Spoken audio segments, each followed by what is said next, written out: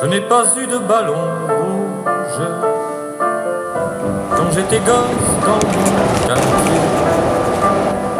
Dans ces provinces où rien ne bouge, tous mes ballons étaient crevés.